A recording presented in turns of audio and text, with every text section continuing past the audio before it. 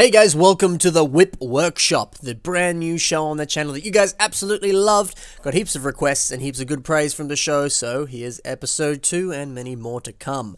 Of course, this show is all about you guys submitting your own work in progress pictures and builds, and I'm going to have a little bit of a chat about them, say how I think you could possibly advance the build a little bit further, as well as just give a little bit of advice, a few of my own ideas and things like that for you to advance this build further. And on top of that too, watching and seeing some of the whip photos of other people's stuff is always very informative and helpful. You get little behind the scenes photos and little snippets and peeks into how exactly other people can build stuff. And also you might get inspired yourself by watching this. And that's what we're all about on this channel. So let's begin with episode two of the whip workshop. The first mock that we're going to be talking about today is by Maniac MOCs. And I, well, this is quite obviously an Umarak the Hunter revamp of some kind. Very, very awesome mock. So it seems that uh, there's a little bit of a paint job on this mask to some degree. I'm, it might just be the lighting on that photo. I don't think it is. It looks like he's painted the side there, adding in that little bit of red there. Pretty cool. I've said it before in BIS episodes and stuff. It's always kind of cool to reinterpret a character a little bit when you're revamping them. And a little paint job on the mask is a, is a, is a nice little addition there. A great way of doing just that. So that's pretty cool. Also really like the sort of pistons and it's not really like the official Lego pistons, but just the, the, like these bones and these tubes and things here on the legs. You know, Umarak the Hunter is this kind of cool, like hunter, bounty hunter kind of guy. And I imagine that he kind of collects things and enhances himself so that he can be, you know, in top physical conditions so that he can hunt and destroy exact you know in the best way possible. And so i kind of like these little additions here like that. It kind of looks like he's upgraded his legs a little bit. He's got these tubes in here. Maybe it's some sort of exosuit or some sort of like performance enhancing drugs that are being pumped through his body which is terrifying, but um, it's pretty, it's pretty cool. I kind of like that. I think it's a fun little addition there. I like what's uh, what's going on there. It's pretty cool. On that, something I think would be really cool when you continue uh, with this whip here, how I was talking about those sort of enhancements or things that he's collected or ways that he's improved himself over his bounty hunting career of, or however you want to describe that. One thing I think could be really cool is very similarly to this mock, which is a mock that you're going to see in a future BIS episode. I probably won't have the episode out by the time that you see this Whip Workshop episode, but this mock is by Aaron Van Cleese and is this really awesome Turaga MOC, and he's got all these fun little trinkets and things here along his waist. You know, all these, all these like a map, a little frog that he's caught, all sorts of stuff like that. Now, I wouldn't necessarily say this exact design is what you could give Umarak here, but it'd be really interesting if he had little things like maybe he's collected some masks or he's collected some weapons or you know little trinkets or things from the, the, the people that he's killed the people that he's hunted down the beasts that he's you know he's he's he's hunted and tamed and that sort of thing. You know maybe he's got a, a big tooth or a big horn or you know uh, the hide of a of a of a cool beast or something like that. He's got little trinkets along the side there, and the perfect thing to do, much like we see in this uh, awesome Turaga mock here, would be to use some system pieces there to get some of those interesting prizes and trinkets that he's got from his past hunts and uh, his past wins and kills and stuff. I think that'd be really interesting and a great way to kind of add a lot more detail and add a little bit more pizzazz to this. Um, because it's awesome as it is so far, but I reckon those little details like that would really, really do something cool to this mock so I like that idea. Plus two, his name is of course Umarak the Hunter, so of course he needs some pretty cool weapons. I certainly think so. So you know maybe a little bit of a quiver or a bow, similar to what he had before. That might be uh, interesting to see how you could advance that in some fashion. Or maybe you just want to give him some different blades, or maybe even some kind of like pirate pistols or some sort of you know, intricate blasters or something like that. You know, he is a hunter. I'm sure he might have some sort of big game hunting guns. You know, that might be interesting. That might be cool. Might be fun to build. Something else you could do is kind of play off some of the bounty hunters you might see in Star Wars or just from other sort of sci-fi, you know, pop culture stuff. So, I don't know, maybe he's got some sort of cool hat or maybe he's got a kind of Boba Fett cloak or something, you know, some sort of awesome cowl or something like that. That could be really fitting to the character, but that said, what you've got so far I think kind of works as is. Maybe maybe he could have some kind of loincloth or even something kind of similar to kind of having more sort of tribal like details. You know, the fact that he's got those big horns on his head and he's also kind of got those bear cage claw things on his shoulders and stuff. He does sort of have that element to him of he's living in the jungle or he's kind of, you know, taking things and putting them on himself to kind of blend in and camouflage himself to some degree. So he might actually have a kind of more kind of tribal look or maybe some kind of camouflaged elements to him. You know, maybe maybe something a little bit like this. He sort of has those more kind of interesting additional kind of tribal details. This sort of more cloth design, maybe like a waistcoat or a loincloth or something. Could be interesting to play around with. Might not be the aesthetic that you're going for. I think you kind of have this sort of more armored look than that, but it might be an interesting pathway to at least consider. You know, you, you never know what might work until you try it. So um, yeah, give that a go if that's something that you're interested in. One thing that I think is also something to maybe consider as well is with the official set, of course, he had the option to combine with some of those. Uh, with, with some of the, the, the beasts, you know, with the whole uniter concept. And I think more traditionally you could combine him with Lewa's specific uniter beast. Uh, and so that gave him the cool trans green wings. So maybe that's something to consider too. Do you want to give Umarak uh, those wings? Because, you know, that could look cool, but again, I actually think he looks better without wings. But that said, the set did look pretty cool when you put the uh, the wings on his back there. But um, yeah, that's something to consider. Maybe you do want to go that route, or maybe you don't want to go that route. Said both pronunciations of that word. Um, so that's something to think about. And then something else that I think could be cool as well is maybe uh, maybe kind of make him look a little bit like Enfys Nest, just because uh, he's a pretty cool character. Um, and I think I think elements of that character also do sort of fit itself well with what Umarak has. That sort of uh, just that just that look. I don't know how quite how to describe that, but uh, I think I think uh, I think the two characters are, are, decently similar, and maybe too you could give him a, a cool kind of uh, gang, much like the Cloud Riders to the Enfys Nest. You know, maybe maybe Umarak has some cool thugs with a similar color scheme, and he's got some sort of henchmen that uh, help him hunt and stuff. That could be something uh, interesting to consider, something something interesting to do. I kind of like that idea. So there you go. There's some of my thoughts on how you could continue forward with this mock. I love what you're doing so far with this. It's very very cool. Some awesome changes to the color scheme uh, and some awesome stuff going on so far. So keep up the great work. Looking forward to seeing where this mock ends up. So, the second mock that we've got so far is by MRT.mocs, and this is his whip so far. Of course, this is not named, but this is the whip. So something I love about this, you've made a start. It's so easy to work from here on. You've made a simple frame, and I always find that it's so much easier to work off of frames. You know, when I when I built my first spaceship mock, uh, or at least my sort of first proper spaceship mock, I made heaps of spaceships when I was a kid, but when I sort of sat down, I was like, I want to build a really, really solid one. I didn't know where to start. It was so difficult for me, um, for some reason, and, and now it's a bit easier. But at the time, I was like, I don't know, where, I don't know, I don't know where to start. Like, how do I begin this? And then I kind of just had the thought of like, you know, the easiest thing for me when I'm building is to add details to stuff. And I was like, man, I wish I could just get to that detail stage now, but I don't know how to do that. I need to actually start with this spaceship. And then I just found myself saying, like, I wish I had the frame already and then I could build the details around it. And I was like, oh, that's actually where I need to start, isn't it? And so then I built the frame, which is very, very simplistic and just, just sort of a bunch of Technic beams and stuff. And then from there, I started to build the details around it. And then I had a spaceship and I was like, oh, that was easy. Um, and more or less, that's what you can do with a mock. You know, it, it, may not be the specific way that you build, but hey, if you need to build a frame and then you can detail around that, and that's the best way for you to start, perfect. And so, well done you for getting a frame up and ready, because now you can just add the details to it, and that's the fun part. That's the awesome part. So, you are in a good place, good sir. So if you're like me with uh, my spaceship example there, if you find it a little bit hard to find a specific starting point, then just make a simple frame. Don't even think about the details yet. Just just figure out a frame, work out some proportions and stuff like that, and just work off of that.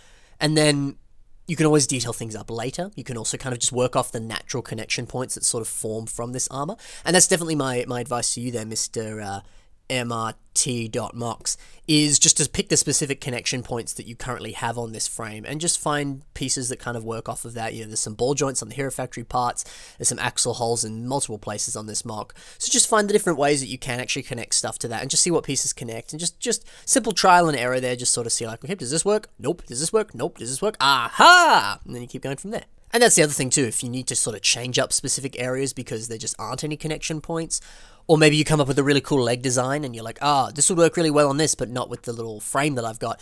Then just substitute it out. Just switch out what you currently have for what's going to work a bit better, you know? But I often find that too, just having that frame in front of you makes things so much easier because you can just sort of, it kind of helps you to better visualize it, I guess. You're like, okay, it's going to be roughly this size, the arms are going to come in, this way, okay, well then the torso needs to look like this. Whereas if you have absolutely nothing, it's harder to work off. As I always say, version 1 is better than version none, so rather build the frame so you have something to work off. I think that's awesome, man. So really, really cool start so far. Things seem pretty well proportioned too on this as well. It's always a good thing with uh, building a frame. You can figure out the proportions here.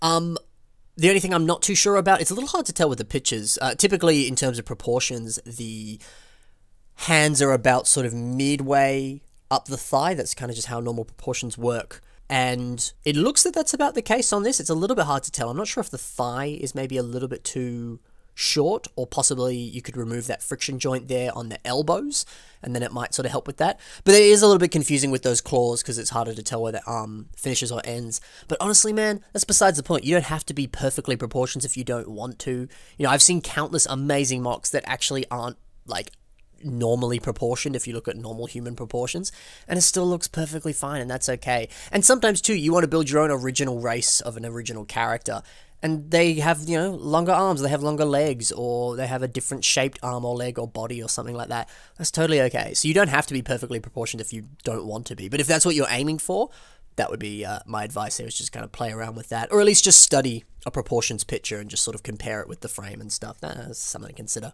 So it is a little bit harder to know the direction that you're going with this. You just sent me the pictures. I uh, you didn't give me any specific stuff that you wanted me to discuss on this which is totally fine man. But um in terms of what I'm seeing so far on the mock, you know obviously it's very early in the design stage but he's got this sort of silver black with little bits of red uh, throughout the color scheme. I assume the red is Maybe the red could be a placeholder as you look for just black ball joints, but um, yeah, let's just say the red's in there for now.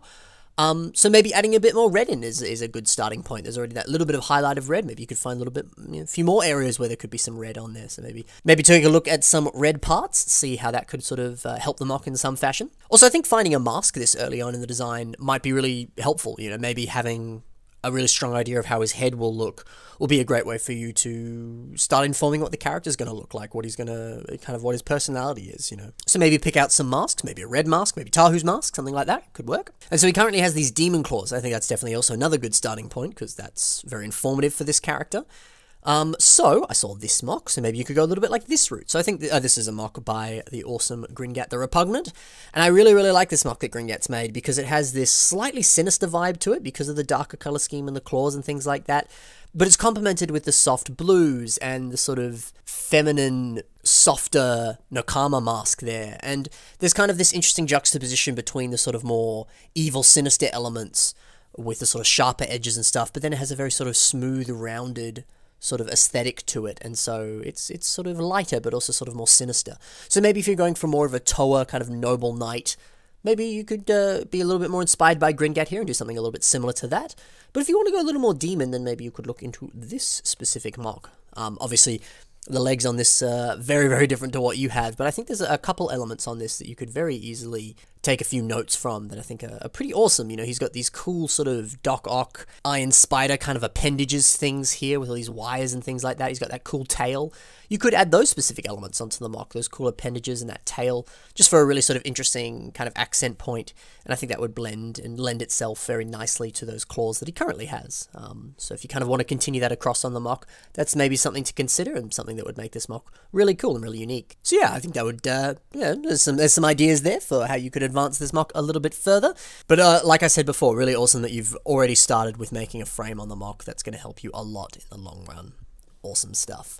So, let's move on to the final mock in the Whip Workshop, and this is a mock by Construction Diva, and uh, of course it doesn't have a name. Well, if it does have a name, I'm not saying the name because I don't do that on the show. I'm so used to saying names for mocks because of BIS, guys. It's it messes with me every time.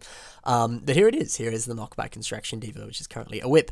So what I love so much about this is the awesome orange accents on this. Really, really pops up against the black and mostly blue color scheme. There's little bits of dark blue in there, but I assume you're going to replace those with blue. It kind of looks like those pieces are placeholders at the moment.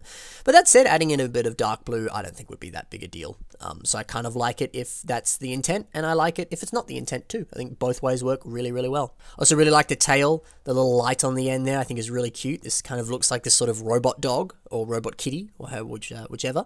Um, and I think that little light on, on the end there kind of gives this really cool kind of like futuristic Android look to it that, you know, the company's installed a light on the end of the tail. I don't know. It, it, says a lot to me. I really like that a lot. I also really like the the little um, tile studs with those sort of orange studs under them that connect into the Nuva shoulders there. Really, really like those. Those do a lot there. I think that's cool. Again, it kind of makes it look a little bit more robotic, gives it a, a really interesting look. I think it's pretty cool.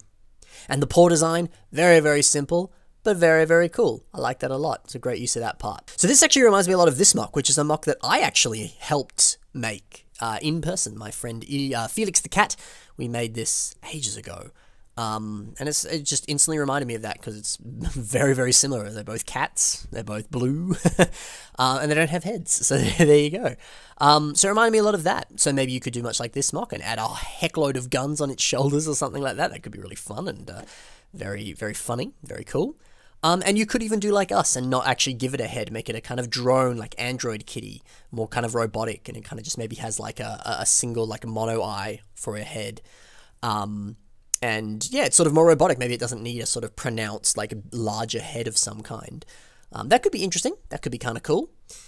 Although either way, I reckon it'd be cool actually. Now that I look at it again, to extend that orange tube out onto the head in some fashion. If if that means you have to add a, a secondary orange tube, then then do so. But I think that'd be cool just to kind of have that orange tube kind of draw your eye throughout the mock so that it leads you to the head and stuff. That'd just be some cool sort of visual storytelling that would be really helpful, I think. That'd be cool. Uh, but if you are preset on making a head design, I would recommend taking a look at Alira's, Alira's, Alura's, Amura Puraburas because I still don't know how to pronounce her name. Good old Molly. Take a look at Molly's awesome Panther mock because that head design is so cool, and this Panther mock is so cool. I need to do a BIS episode on animals again and do a Panther, ep- put this in it because I love it. I want to talk about this a lot, but I'm already running late on time. So, maybe take a look at this Panther head design here because it's pretty cool using those um, uh, those claw pieces there for eyes, I definitely think would work on your mock too. Although maybe you want to go something a little more like a stud or something, so it's a little more sort of like rectangular and looks a bit more robotic. That might be that might uh, that might be fitting. Another thing that you could also possibly take some notes from is uh, bit of a bit of a bit of Transformers inspiration here, perhaps. Uh, maybe adding in some butt cannons or some butt um, sort of rockets or something like that. So maybe he's got some cool like attachments and things that can kind of go on him. So you could put those guns on, but they're not a permanent addition. It's sort of like a you know, you've got all these different gun attachments or, you know, like rocket launchers or missiles or something that you can kind of put on his back and he has all these different attachments and stuff. That could be kind of cool. It could be an interesting way to advance it forward. Um, but that said, I do really like the sort of smooth aesthetic that you've got. But that, that, that, said, adding the rockets wouldn't disrupt that in any fashion. I think it would just make it really fun and really cool. Um, and that too, just ra- uh, Ravage in general is a very sort of sleek, robotic dog. It's not actually, it is a dog, but yours is kind of more of a cat. I don't know. Yours could actually work as either animal. It doesn't really matter. Um, but I think a lot of the designs from him very much fit your mock too. So uh, take a look at some of those uh, sorts of uh, things, and maybe that can inspire you. But anyway, that's my advice. Take it or leave it. I don't care if you you sit here and you're like, oh, that's I didn't I didn't no, I'm not doing any of that. That's okay, man. I was just uh, I was just I was just offering my, my advice. You know, you, you do you, man. I don't mind. So yeah, that's it for the Whip Workshop for this week. If you want to submit some of your own stuff to the show, the Whip Workshop, or BIS, you of course can. You can do so through the email that you're currently seeing on your screen right now. Just send me a few pictures, and if there's something you specifically want me to talk about, or you're something you're specifically struggling on with your whip, be sure to just throw that into the email as well. I will not accept submissions on anything else except the email, just so that it's a bit easier for me to catalog everything and that I don't miss out on your submission. So please do not hesitate if you have a whip that you are currently working on and you need some help or some advice for how to advance it further. This has been the Whip Workshop. Happy building, guys. I'll see you in the next episode.